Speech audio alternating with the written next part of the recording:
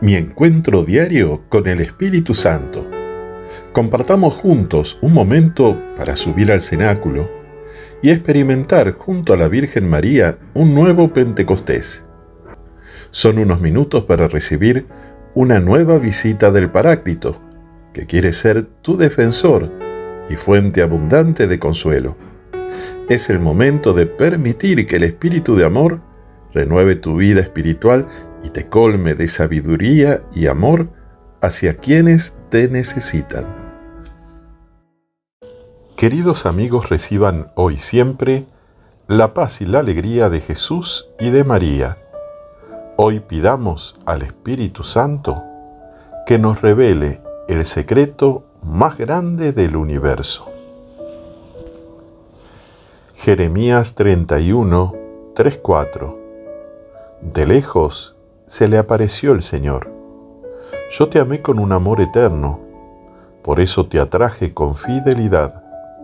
De nuevo te edificaré y serás reedificada. Palabra de Dios. Se me ocurre que podemos reflexionar en este versículo parafraseándolo un poco para nuestra vida, donde te dice el Señor, que de lejos Él te está mirando, que de lejos Él se aparece en tu vida, no porque Él quiera estar lejos. Muchas veces somos nosotros que le tenemos temor, que nos cuesta confiar en su amor, en su perdón, en su misericordia.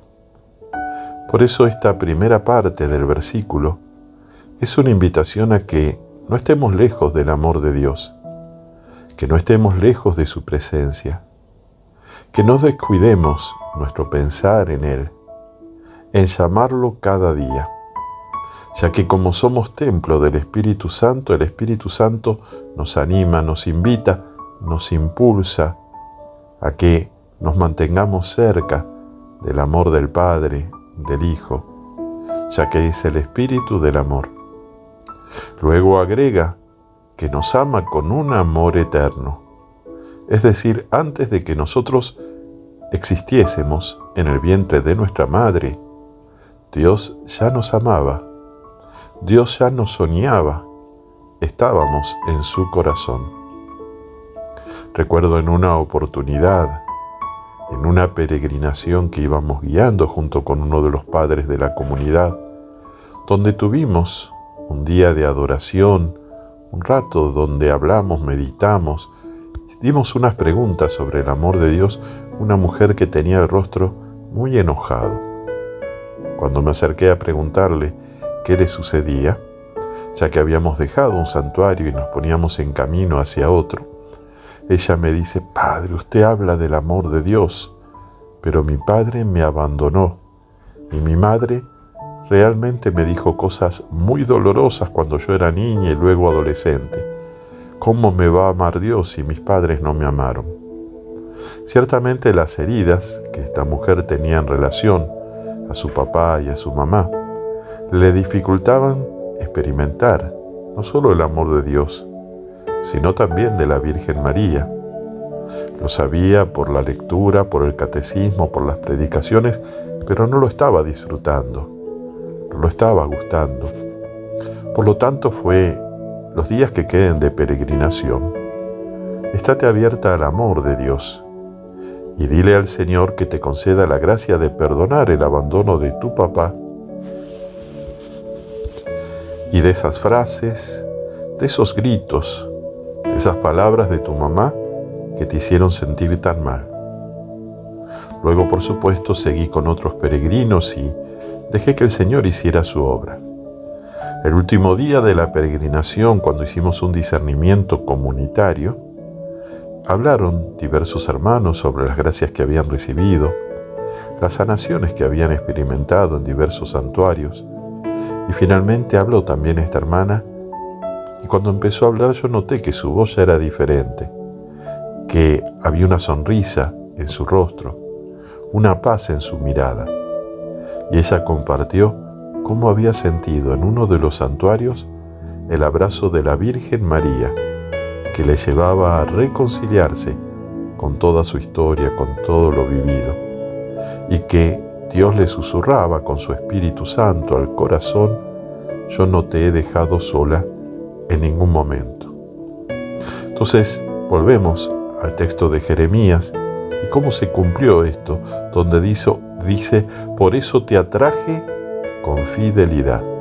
Fue lo que hizo con esta mujer y es lo que cada día el Espíritu Santo quiere hacer en nosotros, sobre todo cuando nos distanciamos a causa del pecado o de las heridas de la vida, atraernos con esa fidelidad que Dios tiene en nuestra vida. Y cuando hemos desmoronado algo de nuestra vida, porque hemos retrocedido, porque nos hemos apartado de Dios o hemos dejado el llamado que el Señor nos hacía, se cumple lo que dice como profecía en Jeremías, de nuevo te edificaré y serás reedificada, lo cual significa una restauración espiritual, psicológica, emocional, una restauración de los vínculos, de las relaciones interpersonales, una capacidad de soñar, de generar proyectos, de sentir la propia voluntad que está siendo fortalecida. Todos tenemos necesidad, en mayor o en menor grado, que el Señor venga a visitarnos, que podamos gustar, experimentar este amor eterno de Dios sentir la fidelidad de Dios que con su Espíritu no deja de atraernos para que estemos a su lado y seamos reedificados, restaurados y renovados. Oremos. Espíritu Santo, hoy te pedimos que nos concedas una mirada simple, amorosa y objetiva de nosotros mismos de las personas que hemos encontrado a lo largo de la vida y de todos los acontecimientos que nos toca vivir. Te pedimos, Espíritu Santo, que envíes tu luz y que esa luz penetre en esas áreas de oscuridad que pudiese haber en nuestra mente, en nuestro corazón, de manera que podamos experimentar tu amor, tu compasión, y así volvernos personas amables, dignas de sentirnos amados, para dar amor a los demás. Que tu presencia, Espíritu Santo, fluya en mí y en cada uno de mis hermanos. Que fluya en nosotros, a través nuestro, y llegue a los miembros de nuestra familia, a las personas que integran la comunidad.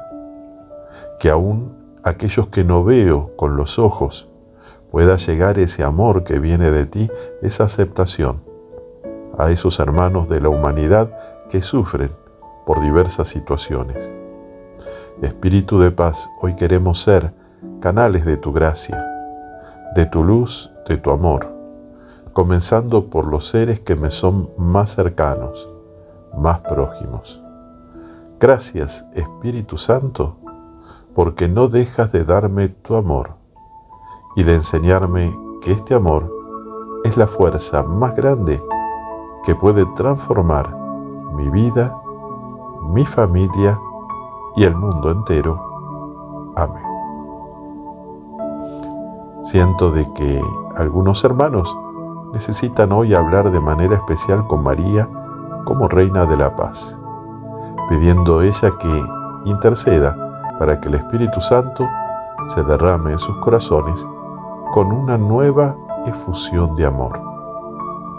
El Señor está contigo. Que te bendiga Dios, que es Padre, Hijo y Espíritu Santo. Amén. Hasta mañana, si Dios quiere.